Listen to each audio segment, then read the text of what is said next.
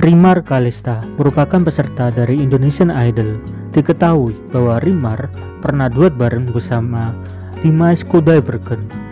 Dimas Kudaibergen merupakan artis internasional yang mempunyai kemampuan untuk mencapai 6 oktav nada tinggi yang jarang dikuasai oleh banyak orang.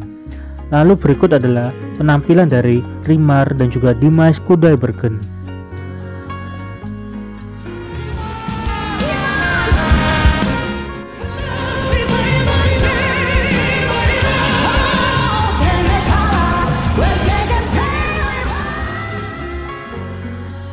Di sini, Rimar ingin mencoba high note yang dikuasai oleh Dimas Kudaibergen.